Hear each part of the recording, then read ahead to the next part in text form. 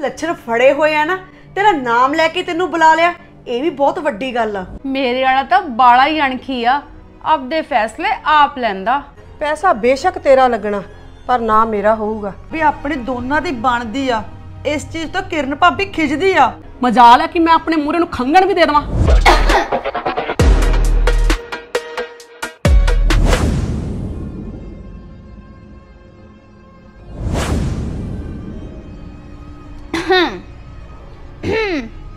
ਖੰਗ ਹੀ ਬੜੀ ਆਈ ਜਾਂਦੀ ਆ। ਪੁੱਤ ਦਵਾਈ ਲੈ ਲਾ ਨਾਲੇ ਤੁਸੀਂ ਇੱਥੇ ਕਿਵੇਂ? ਹੁਣ ਸਾਨੂੰ ਇਹ ਦੱਸਣਾ ਪਊਗਾ ਕਿ ਅਸੀਂ ਇੱਥੇ ਕਿਵੇਂ ਤੇ ਕਿਉਂ ਆਏ ਆ। ਕੀ ਗੱਲ ਮਾਤਾ? ਚੁੱਪ ਚਪੀਤੇ ਚੋਰਾਂ ਵਾਂਗੂ ਇੱਧਰ ਨੂੰ ਆ ਗਏ। ਨਾ ਤੁਹਾਡਾ ਕੋਈ ਫਰਜ਼ ਨਹੀਂ ਸੀ ਬਣਦਾ ਸਾਨੂੰ ਦੱਸ ਕੇ ਆਉਂਦਾ ਉਹ ਚੱਲ ਮੇਰੀ ਤਾਂ ਛੱਡੋ ਘੱਟੋ ਘੱਟ ਆਪਣੇ ਪੁੱਤ ਬਾਰੇ ਹੀ ਸੋਚ ਲੈਂਦੇ। ਨਾਲੇ ਕੀ ਕਹਿੰਦੇ ਸੀ? ਖੰਗਣ ਨਹੀਂ ਦਿੰਦੀ। ਆ ਲੋ ਖੰਗ ਲਈ ਮੈਂ ਤਾਂ। ਤੂੰ ਨਾ ਮੇਰੀ ਇੱਥੇ ਬੇਇੱਜ਼ਤੀ ਨਾ ਕਰ। ਕੀ ਕਹਿੰਦੀ ਸੀ? ਕਿ ਆਪਣੇ ਪੁੱਤ ਬਾਰੇ ਸੋਚ ਲਓ। ਉਹ ਪੁੱਤ ਵੀ ਤਾਂ ਪਹਿਲਾਂ ਤੇਰਾ ਖਸਮ ਬਣਿਆ ਫਿਰਦਾ ਜਿਹਨੂੰ ਉਂਗਲਾਂ ਤੇ ਨਚਾਈ ਫਿਰਦੀ ਆ। ਨਾ ਤੂੰ ਮੇਰੇ ਤੇ ਡੀਸੀ ਲੱਗੀ ਆ, ਮੈਂ ਜਿੱਥੇ ਮਰਜ਼ੀ ਜਾਵਾਂ, ਤੂੰ ਕੀ ਲੈਣਾ? ਮੈਂ ਜ਼ਰੂਰੀ ਨਹੀਂ ਸਮਝਦੀ ਕਿ ਤੈਨੂੰ ਦੱਸ ਕੇ ਜਾਵਾਂ। ਆ ਆਪਣੀ ਲੁੱਤਰ ਨੂੰ ਨਾ ਜਰਾ ਕਾਬੂ 'ਚ ਰੱਖ, ਜਿਹੜੀ ਕੈਂਚੀ ਵਾਂਗੂ ਚੱਲਦੀ ਆ। ਮੈਂ ਨਾ ਆਪਣੀ ਸੱਸ ਮੂਰੇ ਚੂੰ ਨਹੀਂ ਕਰਦੀ ਸੀ, ਤੇ ਤੂੰ ਆ ਮੁੰਡੇ ਦੀ ਸ਼ਹਿ ਤੇ ਮੇਰੇ ਅੱਗੇ ਜ਼ੁਬਾਨ ਲੜਨ ਲੱਗੀ ਆ ਮੰਮੀ ਮੇਰਾ ਨਾ ਹਲੇ ਲੜਨ ਦਾ ਮੂਡ ਹੈ ਨਹੀਂ ਤੇ ਮੇਰਾ ਮੂਡ ਨਾ ਬਣਾ।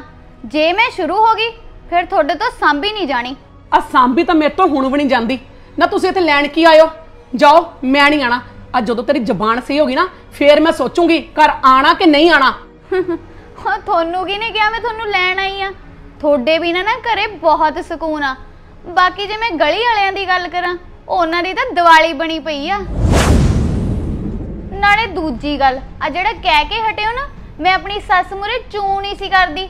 ਇਹ ਤਾਂ ਮਾਤਾ ਹੁਣ ਰੱਬ ਹੀ ਜਾਣਦਾ ਜਾਂ ਤੁਹਾਡੀ ਸੱਸ ਜਾਣਦੀ ਆ ਵੀ ਤੁਸੀਂ ਚੂੰ ਨਹੀਂ ਸੀ ਕਰਦੇ ਕਬੜੀ ਸੱਸ ਨੂੰ ਚੂੰ ਕਰਨ ਨਹੀਂ ਸੀ ਦਿੰਦੇ। ਉਹ ਚੱਲ ਨਾ ਵੀ ਬਸ ਕਰ ਯਾਰ ਮਾਸੀ ਮੂਰੇ ਮੇਰੀ ਮਾਂ ਨੂੰ ਹੀ ਬੋਲੀ ਜਾਂਦੀ ਆ ਤੂੰ। ਮੈਂ ਨਾ ਜੀ ਇੱਥੇ ਤਾਂ ਬੋਲਦੀ ਪਈ ਆ ਤਾਂ ਕਿ ਮਾਸੀ ਜੀ ਨੂੰ ਵੀ ਪਤਾ ਲੱਗ ਸਕੇ ਕਿ ਮੰਮੀ ਘਰੇ ਕੀ ਕੁਛ ਕਰਕੇ ਆਇਆ ਤੇ ਬਾਕੀ ਆਪਦੇ ਘਰ ਦਾ ਵਿਚਾਰ ਰੱਖਣ। ਉਹ ਤੁਸੀਂ ਆਪਣੀ ਮੰਮੀ ਨਾਲ ਗੱਲ ਕਰਨੀ ਆ ਨਾ ਕਰ ਲਓ। ਮੈਂ ਬਾਹਰ ਚਲੀ ਜਾਨੀ ਆ। ਕਿਉਂਕਿ ਤੁਹਾਡੀ ਮੰਮੀ ਵਰਗੇ ਦੋਗਲੇ ਬੰਦੇ ਨਾਲ ਨਾ ਗੱਲ ਨਹੀਂ ਹੋ ਸਕਦੀ। ਬਹਿਸ ਜਾਂ ਲੜਾਈ ਹੋਈ ਹੋਊਗੀ। ਤੇ ਜੇ ਮੈਂ ਕੁਝ ਬੋਲੂੰਗੀ ਤੁਹਾਨੂੰ ਚੰਗਾ ਨਹੀਂ ਲੱਗਣਾ। ਨਵੀ? ਨਵੀ? ਦੇਖਿਆ? ਚੰਨੀ ਭੈਣੇ ਕਿਵੇਂ ਜਨਾਨੀ ਦੇ ਮਰ ਲੱਗਿਆ? ਉਹ ਦੇਖ ਤਾਂ ਮੈਂ ਸਾਰਾ ਕੁਝ ਲਿਆ। ਤੂੰ ਤਾਂ ਕਹਿੰਦੀ ਸੀ ਮੇਰੀ ਨੌ ਮੇਰੇ ਮੂਰੇ ਖੰਗਦੀ ਨਹੀਂ। ਖੰਗਣਾ ਤਾਂ ਇੱਕ ਪਾਸੇ ਤਾਂ ਖੰਗੂੜੇ ਮਾਰ ਕੇ ਗਈ ਹੈ ਤੈਨੂੰ। ਨਾਲੇ ਤੂੰ ਤਾਂ ਕਹਿੰਦੀ ਸੀ ਮੇਰਾ ਮੁੰਡਾ ਮੇਰੇ ਕਹਿਣੇ ਤੋਂ ਬਾਹਰ ਨਹੀਂ। ਆ ਨੌ ਬਾਹਰ ਚਲੀ ਗਈ ਨਾਲੇ ਮੁੰਡਾ ਬਾਹਰ ਚਲਿਆ ਗਿਆ। ਸੀਤੋ ਤੂੰ ਮੈਨੂੰ ਇੱਕ ਗੱਲ ਦੱਸ ਤੂੰ ਜਿੱਥੋਂ ਵੀ ਜਾਨੀ ਆ ਉੱਥੇ ਸੱਚੀ ਦੀਵਾਲੀ ਵਰਗਾ ਮਾਹੌਲ ਹੋ ਜਾਂਦਾ। ਪਤਾ ਨਹੀਂ ਜਦੋਂ ਇੱਥੋਂ ਜਾਊਂਗੀ ਦੇਖ ਲਈ। ਜੇ ਕਹਿੰਦੀ ਆ ਤੇ ਮੈਂ ਚਲੀ ਜਾਨੀ ਆ। ਉਹ ਨਹੀਂ ਨਹੀਂ ਤੂੰ ਮੇਰੀ ਗੱਲ ਦਾ ਗੁੱਸਾ ਨਾ ਕਰ। ਰਹਿ ਇੱਥੇ। ਆਪਣੇ ਘਰ ਸਮਝ। ਆਪਣਾ ਹੀ ਸਮਝਦੀ ਆ ਤਾਂ ਹੀ ਰਹਿੰਦੀ ਪਈ ਸੀ। ਪਰ ਤੂੰ ਮੈਨੂੰ ਆਪਣਾ ਨਹੀਂ ਸਮਝਦੀ। ਓਏ ਓਏ ਓਏ ਓਲੇ ਓਲੇ ਓਲੇ ਮੇਰੀ ਛੋਟੀ ਭੈਣ ਰੁੱਸ ਗਈ। ਤੇਰੇ ਇਸੇ ਪਿਆਰ ਕਰਕੇ ਨਾ ਮੈਂ ਜਾਂਦੀ ਨਹੀਂ ਇੱਥੋਂ। ਕੋਈ ਨਾ ਨਾ ਜਾ ਪਰ ਮੇਰੇ ਨਾਲ ਗੁੱਸੇ ਨਾ ਹੋਇਆ ਕਰ। ਨਾ ਤੇਰੇ ਨਾਲ ਕਾਹਦਾ ਗੁੱਸਾ? ਤੇਰੇ ਨਾਲ ਕੋਈ ਗੁੱਸਾ ਨਹੀਂ।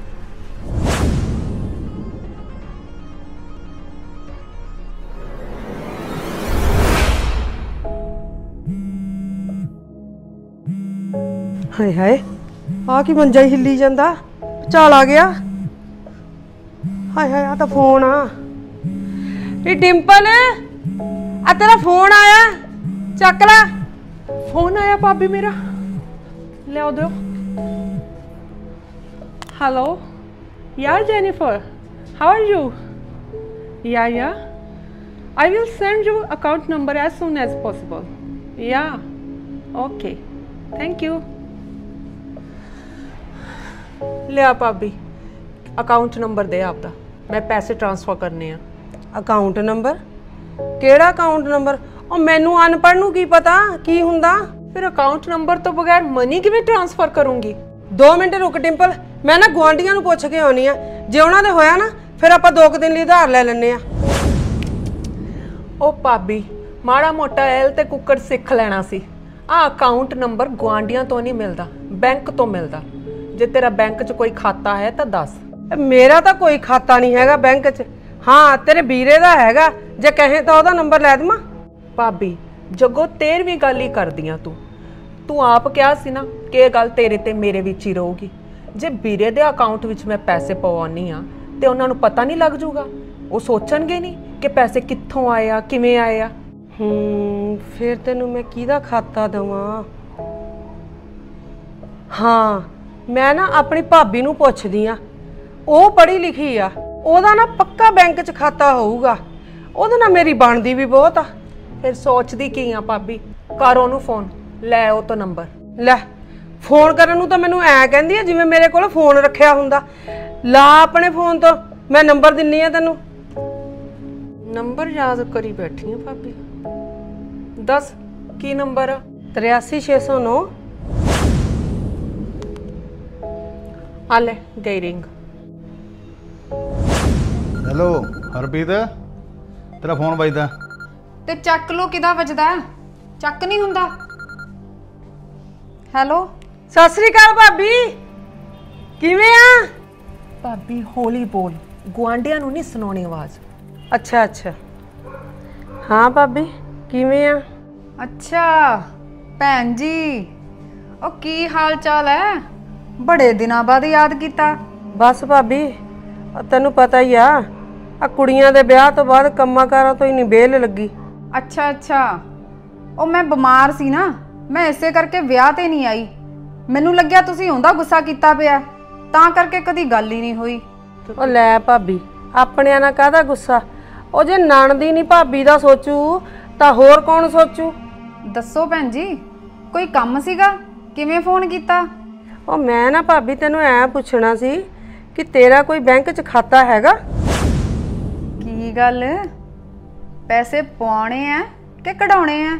ਹਾਂ ਉਹ ਸਹੀ ਫੜਿਆ ਭਾਬੀ ਤੂੰ। ਉਹ ਪੈਸੇ ਪਵਾਣੇ ਆ ਪਰ ਘਰਦਿਆਂ ਨੂੰ ਕਿਸੇ ਨੂੰ ਦੱਸਣਾ ਨਹੀਂ। ਦੱਸਣਾ ਨਹੀਂ? ਮੈਂ ਕੁਝ ਸਮਝੀ ਨਹੀਂ। ਉਹ ਭਾਬੀ ਮੈਂ ਤੈਨੂੰ ਨਾ ਪੂਰੀ ਗੱਲ ਫੇਰ ਸਮਝਾਉਂਗੀ। ਬਸ ਤੂੰ ਐ ਕਰ ਮੈਨੂੰ ਆਪਣਾ ਅਕਾਊਂਟ ਨੰਬਰ ਭੇਜ ਦੇ। ਚਲ ਠੀਕ ਹੈ ਭਾਬੀ ਮੈਂ ਇਸੇ ਨੰਬਰ ਤੇ ਤੈਨੂੰ ਸੈਂਡ ਕਰਦੀ ਆ ਚੱਲ ਠੀਕ ਆ ਆ ਲੈ ਫੜ ਆ ਤੇਰੇ ਨੰਬਰ ਤੇ ਹੀ ਖਾਤਾ ਨੰਬਰ ਭੇਜੂਗੀ ਆ ਗਿਆ Jennifer, I'm sending you account number. Please transfer the money. Thank you.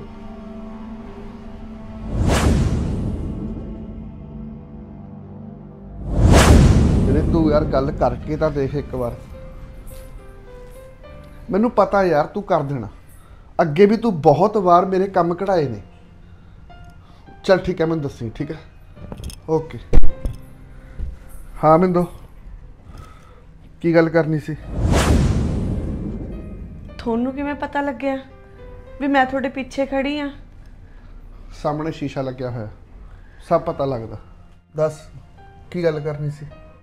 ਜਦੋਂ ਆਪਾਂ ਘੁੰਮਣ ਗਏ ਸੀ ਤੁਸੀਂ ਮੈਨੂੰ ਇੱਕ ਗੱਲ ਕਹੀ ਸੀ ਵੀ ਕੁਝ ਵੀ ਹੋਵੇ ਤਾਂ ਮੇਰੇ ਤੋਂ ਕੋਈ ਗੱਲ ਨਹੀਂ ਲੁਕਾਉਣੀ।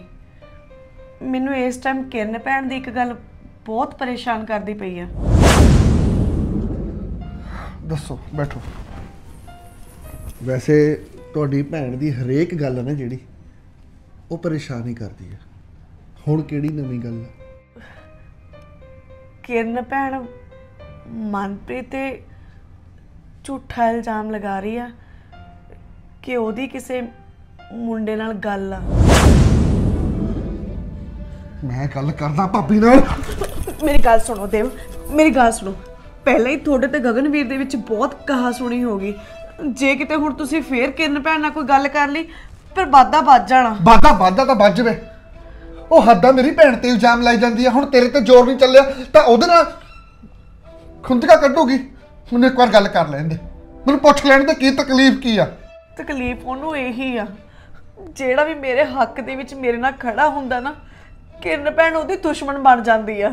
ਜੇ ਦੁਸ਼ਮਣ ਤਾਂ ਦੁਸ਼ਮਣ ਹੀ ਸਹੀ। ਮੈਂ ਇਹ ਨਹੀਂ ਬਰਦਾਸ਼ਤ ਕਰ ਸਕਦਾ ਕਿ ਕੋਈ ਮੇਰੀ ਭੈਣ ਦੇ ਉੱਤੇ ਗਲਤ ਇਲਜ਼ਾਮ ਲਾਵੇ। ਬਰਦਾਸ਼ਤ ਤਾਂ ਜੀ ਮੈਂ ਵੀ ਨਹੀਂ ਕਰ ਸਕਦੀ। ਪਰ ਮੈਂ ਕੀ ਕਰਾਂ? ਉਹਨੇ ਤਾਂ ਗਗਨਵੀਰ ਜੀ ਦੇ ਦਿਮਾਗ ਦੇ ਵਿੱਚ ਵੀ ਇਹ ਗੱਲ ਭਰਤੀ। ਕਿ ਮਨਪ੍ਰੀਤ ਦਾ ਕਿਸੇ ਮੁੰਡੇ ਦੇ ਨਾਲ ਚੱਕਰ ਆ। ਗੱਲ ਤਾਂ ਕਰਨੀ ਪੈਣੀ ਆ ਮਿੰਦੋ। ਉਹ ਜਿਹੜੀ ਔਰਤ ਆਪਣੇ ਘਰ ਦੇ ਵਿੱਚ ਹੀ ਅੱਗ ਲਾ ਸਕਦੀ ਆ ਤੈਨੂੰ ਕੀ ਲੱਗਦਾ? ਉਹ ਬਾਹਰ ਗੱਲ ਨਹੀਂ ਕਰੂਗੀ ਬਾਹਰ ਕਿਸੇ ਨੂੰ ਕਹੂਗੀ ਨਹੀਂ। ਪਹਿਲਾਂ ਤਾਂ ਮਨਪ੍ਰੀਤ ਨੂੰ ਪੁੱਛ ਕਿ ਜੋ ਕੁਛ ਭਾਬੀ ਕਹਿੰਦੀ ਪਈ ਆ ਉਹਦੇ ਚ ਥੋੜੀ ਜਿਹੀ ਵੀ ਸੱਚਾਈ ਹੈ ਜਾਂ ਨਹੀਂ? ਮੈਂ ਮਨਪ੍ਰੀਤ ਨਾਲ ਗੱਲ ਕਰ ਚੁੱਕੀ ਆ। ਉਹ ਤਾਂ ਵਿਚਾਰੀ ਇਹ ਸਾਰਾ ਕੁਝ ਸੁਣ ਕੇ ਸੁਣਨੀ ਹੋ ਗਈ। ਤੁਹਾਨੂੰ ਪਤਾ, ਉਹਨੇ ਤਾਂ ਆਪਣਾ ਫੋਨ ਤੱਕ ਮੇਰੇ ਅੱਗੇ ਰੱਖਤਾ ਕਿ ਭਾਬੀ, ਤੁਸੀਂ ਇਹਨੂੰ ਚੈੱਕ ਕਰ ਲਓ। ਮੈਂ ਕਿਹਨੂੰ ਫੋਨ ਕੀਤਾ, ਕਿਹਨੂੰ ਨਹੀਂ, ਉਹ ਫੋਨ ਛੱਡੋ। ਉਹਨੇ ਤਾਂ ਮੈਨੂੰ ਇੱਥੇ ਤੱਕ ਗੱਲ ਕਹਿਤੀ ਕਿ ਮੇਰੇ ਕਾਲਜ 'ਚ ਜਾ ਕੇ ਪਤਾ ਕਰਿਓ ਮੇਰੀਆਂ ਅਟੈਂਡੈਂਸਾਂ ਲੱਗੀਆਂ ਹੋਈਆਂ ਨੇ ਕਿ ਨਹੀਂ ਲੱਗੀਆਂ ਹੋਈਆਂ? ਉਹ ਕਹਿੰਦੇ, ਜੇ ਤੁਹਾਨੂੰ ਮੇਰੇ 'ਚ ਮਾੜੀ ਜਿਹੀ ਵੀ ਗਲਤੀ ਲੱਗੀ ਨਾ, ਤੁਸੀਂ ਜੋ ਮਰਜ਼ੀ ਸਜ਼ਾ ਦਿਓ, ਮੈਨੂੰ ਮਨਜ਼ੂਰ ਹੋਊਗੀ। ਮੈਨੂੰ ਆਪਣੀ ਭੈਣ ਤੇ ਪੂਰਾ ਯਕੀਨ ਆ। ਉਹ ਇਹੋ ਜਿਹਾ ਕੁਝ ਨਹੀਂ ਕਰ ਸਕਦੀ ਜਿਹਦੇ ਨਾਲ ਪਰਿਵਾਰ ਦੀ ਇੱਜ਼ਤ ਨੀਵੀਂ ਹੋਵੇ। ਪਰ ਮੰਮੀ ਨਾਲ ਤਾਂ ਗੱਲ ਕਰਨੀ ਪੈਣੀ ਹੈ ਨਾ ਇਸ ਬਾਰੇ। ਮੇਰੀ ਗੱਲ ਸੁਣੋ। ਮੰਮੀ ਨਾਲ ਤੁਸੀਂ ਕੋਈ ਗੱਲ ਨਹੀਂ ਕਰਨੀ ਕਿਉਂਕਿ ਮੰਮੀ ਨੇ ਆਪਣੇ ਤੇ ਨਹੀਂ ਕਿਰਨ ਭੈਣ ਤੇ ਯਕੀਨ ਕਰਨਾ। ਇਦਾਂ ਕਿੱਦਾਂ ਉਹਦੀ ਗੱਲ ਤੇ ਯਕੀਨ ਕਰ ਲੈਣਗੇ? ਉਹ ਮੈਂ ਵੀ ਤਾਂ ਉਹਨਾਂ ਦਾ ਪੁੱਤ ਆ ਮੇਰੀ ਗੱਲ ਵੀ ਮੰਨਣਗੇ? ਨਹੀਂ ਮੰਨਣਗੇ ਕਿਉਂਕਿ ਕਿਰਨ ਤੇ ਮਾਸੀ ਜੀ ਦੋਨਾਂ ਨੇ ਮੰਮੀ ਦੇ ਇੰਨੇ ਕੁ ਕੰਨ ਭਰੇ ਹੋਏ ਨੇ ਨਾ ਆਪਾਂ ਜਿਹੜਾ ਕੁਝ ਮਰਜ਼ੀ ਕਹਿ ਦਈਏ, ਉਹਨਾਂ ਨੇ ਕਿਰਨ ਭੈਣ ਦੀ ਕਹੀ ਗੱਲ ਨੂੰ ਹੀ ਸਹੀ ਮੰਨਣਾ। ਮਾਸੀ ਮਾਸੀ ਮਾਸੀ ਮਾਸੀ, ਜਿੱਥੇ ਕਿਤੇ ਲੜਾਈ ਦੀ ਗੱਲ ਹੋਵੇ, ਉੱਥੇ ਮਾਸੀ। ਜਿੱਥੇ ਕਿਸੇ ਦਾ ਘਰ ਟੁੱਟਦਾ, ਉੱਥੇ ਮਾਸੀ। ਜਿੱਥੇ ਕੋਈ ਕਿਸੇ ਨਾਲੋਂ ਅੱਡ ਹੁੰਦਾ, ਉੱਥੇ ਮਾਸੀ। ਇੱਕ ਤੇਰੀ ਭੈਣ ਘੱਟ ਸੀ, ਜਿਹੜੀ ਮਾਸੀ ਵੀ ਇੱਥੇ ਆ ਗਈ। ਤੇਰੀ ਭੈਣ ਨੂੰ ਕਿਰਨ ਭਾਬੀ ਨੂੰ ਤਾਂ ਹੈਂਡਲ ਕਰ ਲਾਂਗੇ। ਪਰ ਸਭ ਤੋਂ ਪਹਿਲਾਂ ਮਾਸੀ ਨੂੰ ਇੱਥੋਂ ਭਜਾਉਣਾ ਪੈਣਾ। ਉਹਦਾ ਬੋਰੀਆ ਬਿਸਤਰਾ ਗੋਲ ਕਰਕੇ ਜਿੱਥੋਂ ਆਈ ਹੈ ਨਾ ਉੱਥੇ ਭੇਜ ਦੇਣਾ ਚਾਹੀਦਾ। ਕਿਵੇਂ ਭੇਜੋਗੇ? ਤੁਹਾਨੂੰ ਪਤਾ ਨਾ ਮਾਸੀ ਕਿੰਨੀ ਢੀਠ ਆ ਤੇ ਮੰਮੀ ਉਹ ਉਹਨੂੰ ਕੁਝ ਕਹਿਣ ਨਹੀਂ ਦਿੰਦੇ। ਮਾਸੀ ਸਾਰਾ ਕੁਝ ਬਰਦਾਸ਼ਤ ਕਰ ਸਕਦੀ ਆ। ਬਸ ਆਪਣੀ ਬੇਇੱਜ਼ਤੀ ਬਰਦਾਸ਼ਤ ਨਹੀਂ ਕਰਦੀ। ਤੈਨੂੰ ਸਾਥ ਦੇਣਾ ਪੈਣਾ ਮੇਰਾ। ਮਾਸੀ ਤੈਨੂੰ ਇੱਕ ਗੱਲ ਕਹਿੰਦੀ ਆ ਨਾ ਉਹਨੂੰ 10 ਸੁਣਾ। ਜੇ ਮਾਸੀ ਤੈਨੂੰ ਇੱਕ ਕੰਮ ਕਹਿੰਦੀ ਆ, ਤਾਂ 10 ਕੰਮ ਮੂਰੇ ਖੜੇ ਕਰ ਦੇ। ਦੇਖ ਫਿਰ ਮਾਸੀ ਦੀ ਭਮੀਰੀ ਬਣਦੀ। ਤੂੰ ਫਿਕਰ ਨਾ ਕਰੀ। ਮੈਂ ਤੇਰੇ ਨਾਲ ਆ। ਬਾਕੀ ਮਨਪ੍ਰੀਤ ਨੂੰ ਵੀ ਤਸੱਲੀ ਦੇ ਦੀ। ਉਹਨੂੰ ਕਹੀ ਜਿਹੜਾ ਕੋਈ ਕੁਝ ਭੌਂਕਦਾ ਨਾ, ਭੌਂਕੀ ਜਾਣ ਦੇ। ਟੈਨਸ਼ਨ ਲੈਣ ਦੀ ਲੋੜ ਨਹੀਂ। ਉਹਦਾ ਭਰਾ ਉਹਦੇ ਨਾਲ ਆ।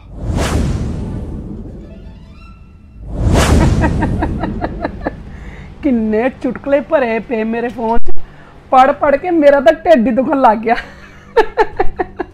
ਸੀਤੋ ਤੈਨੂੰ ਆਪਣੇ ਕੀਤੇ ਤੇ ਭੋਰਾ ਪਛਤਾਵਾ ਨਹੀਂ।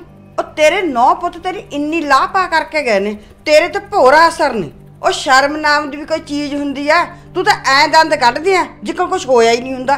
ਭੈਣੇ ਮੈਂ ਇੱਥੇ ਬੈਠੀ ਆ ਤਾਂ ਮੂੰਹ ਬੰਦ ਰੱਖਿਆ ਤੇਰਾ ਲਿਹਾਜ਼ ਕਰ ਲਿਆ। ਨਹੀਂ ਤੇ ਮੈਂ ਉਹਦੀ ਉਹ ਕੁੱਤੇ ਖਾਣੀ ਕਰਨੀ ਸੀ ਨਾ ਸਾਰੀ ਉਮਰ ਯਾਦ ਰੱਖਦੀ। ਮਜਾਲ ਹੈ ਕਿ ਮੇਰੇ ਸਾਹਮਣੇ ਕੁਸਕ ਵੀ ਜਾਂਦੀ ਬਸ ਕਰ ਸੀਤੋ ਉਹ ਦੀਂਦਾ ਹੀ ਆ ਕੌਣ ਕੁਸਕਦਾ ਤੇ ਕੌਣ ਨਹੀਂ ਕੁਸਕਦਾ। ਅੱਛਾ ਹੁਣ ਤੈਨੂੰ ਐ ਲੱਗਦਾ ਕਿ ਮੇਰੀ ਨੂੰ ਮੇਰੇ ਤੇ ਭਾਰੀ ਪੈ ਗਈ ਕਿ ਮੇਰਾ ਦਬਦਬਾ ਘਟ ਗਿਆ। ਅਸਲ 'ਚ ਇੱਕ ਗੱਲ ਦੱਸਾਂ ਮੈਂ ਬਿਨਾਂ ਦੱਸੇ ਘਰੋਂ ਆਈ ਸੀ ਤਾਂ ਕਿ ਇਹਨਾਂ ਦੀ ਅਕਲ ਟਿਕਾਣੇ ਆ ਜੇ ਆ ਤਾਂ ਹੀ ਤਾਂ ਮੇਰੇ ਮਗਰ ਭੱਜੇ ਭੱਜੇ ਆਏ ਨੇ। ਦੇਖ ਸੀਤੋ ਤੂੰ ਆਪਣੇ ਨੌ ਪੁੱਤ ਨਾਲ ਕਿਵੇਂ ਰਹਿੰਦੀ ਹੈ ਕਿਵੇਂ ਨਹੀਂ ਰਹਿੰਦੀ, ਮੈਨੂੰ ਇਹਦਾ ਕੋਈ ਪਤਾ ਨਹੀਂ। ਪਰ ਜਦ ਮੇਰੇ ਪੁੱਤਾਂ ਦੀ ਲੜਾਈ ਹੋਈ ਆ ਨਾ, ਤੂੰ ਵਿੱਚ ਬੋਲੀਆਂ ਮੈਨੂੰ ਚੰਗਾ ਨਹੀਂ ਲੱਗਿਆ, ਕਿਉਂਕਿ ਤੇਰਾ ਬੋਲਣਾ ਬਣਦਾ ਨਹੀਂ ਸੀ। ਉਹ ਕਹਿਣ ਨੂੰ ਮੈਂ ਵੀ ਚਾਰ ਗੱਲਾਂ ਕਹਿ ਸਕਦੀ ਸੀ, ਮੈਨੂੰ ਐ ਸੀ ਵੀ ਲੜਾਈ ਵੱਧ ਨਾ ਜਾਵੇ, ਤਾਂ ਹੀ ਮੈਂ ਆਪਣਾ ਮੂੰਹ ਚੁੱਪ ਰੱਖਿਆ। ਉਹ ਤੂੰ ਐਵੇਂ ਨਾ ਘਬਰਾਈ ਜਾ, ਕਈ ਵਾਰ ਨਾ ਬੱਚਿਆਂ ਨੂੰ ਲੈਣ ਤੇ ਲੈ ਕੇ ਆਉਣ ਵਾਸਤੇ ਐਦਾਂ ਦੇ ਫੈਸਲੇ ਲੈਣੇ ਪੈਂਦੇ ਆ, ਕਹਿਣਾ ਪੈਂਦਾ, ਉਹੀ ਤਾਂ ਮੈਂ ਕਿਹਾ। ਉਹ ਤੇਰੇ ਨਾਲ ਕੌਣ ਮੱਥਾ ਮਾਰੇ? ਤੈਨੂੰ ਸਮਝਾਉਣਾ ਵੀ ਬੇਕਾਰ ਹੀ ਆ। ਫਿਰ ਨਾ ਸਮਝਾ। ਤੈਨੂੰ ਕੌਣ ਕਹਿੰਦਾ ਸਮਝਾਉਣ ਨੂੰ? ਆ ਤੇਰੀਆਂ ਨੂੰਹਾਂ ਦੇਖ ਲਾ।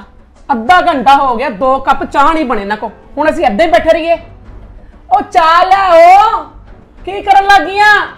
ਉਹ ਕਿੱਥੇ ਰਹਿ ਗਈਆਂ? ਚਾਹ ਲਿਆਓ। ਲਿਆਈ ਮਾਸੀ ਜੀ। ਆ ਲਓ ਆ ਲਓ ਮੰਮੀ ਜੀ। ਚੰਨੀ ਚਾਹ ਨਾ ਪੀ। ਕਿਉਂ? ਕੀ ਹੋਇਆ ਮਾਸੀ ਜੀ?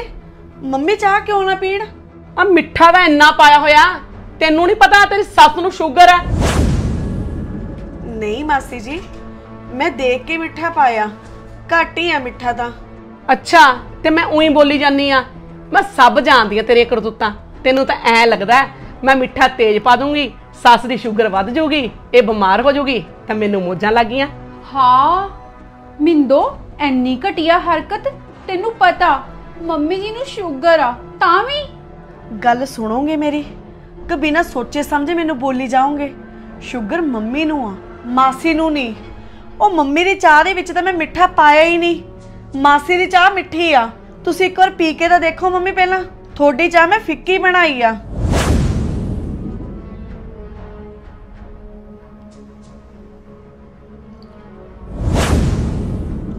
ਸੀਤੋ ਚਾਹ ਤਾਂ ਫਿੱਕੀ ਆ। ਤੂੰ ਉਹੀ ਨੌ ਨੂੰ ਬੋਲੀ ਜਾਨੀ ਆ। ਅਸਲ 'ਚ ਮੰਮੀ ਜੀ ਗਲਤੀ ਮਾਸੀ ਜੀ ਦੀ ਨਹੀਂ ਇਹਨਾਂ ਦੇ ਸੁਭਾਅ ਦੀ ਆ।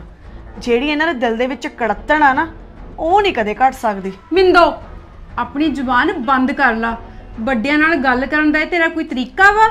ਇਹ ਤਾਂ ਮੇਰੀ ਹਾਲਤ ਠੀਕ ਨਹੀਂ ਹੈਗੀ। ਨਹੀਂ ਤਾਂ ਮੈਂ ਮਾਸੀ ਜੀ ਦੀ ਸੇਵਾ ਪਾਣੀ ਆਪ ਹੀ ਕਰ ਲਾਂ। ਦੋ ਕੱਪ ਤੂੰ ਚਾਹ ਦੇ ਕੀ ਲੈ ਕੇ ਆਈ ਆ?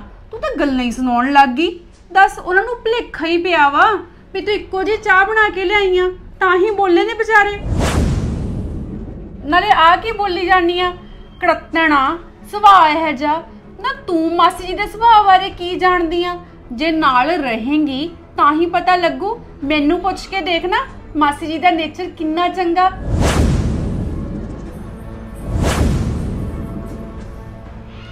ਮਾਸੀ ਫਿਕਰ ਨਾ ਕਰੋ। ਆ ਮਾੜਾ ਜਿਹਾ ਮੇਰਾ ਪੈਰ ਠੀਕ ਹੋ ਜਵੇ। ਤੁਹਾਡੀ ਸੇਵਾ ਪਾਣੀ ਤਾਂ ਮੈਂ ਰੱਜ ਕੇ ਹੀ ਕਰੂੰ। ਹਾਂ ਪੁੱਤ ਸੇਵਾ ਦੀ ਉਮੀਦ ਤਾਂ ਮੈਨੂੰ ਤੇਰੇ ਤੋਂ ਹੀ ਹੈ। ਹਾਏ! ਮਰ ਗਈ! ਕਿੰਨ ਪੈਣੇ ਨਹੀਂ ਤੂੰ ਕਿਵੇਂ ਡਿੱਗ ਪਈ ਹੁਣ? ਕੀ ਗੱਲ ਹੋ ਗਈ?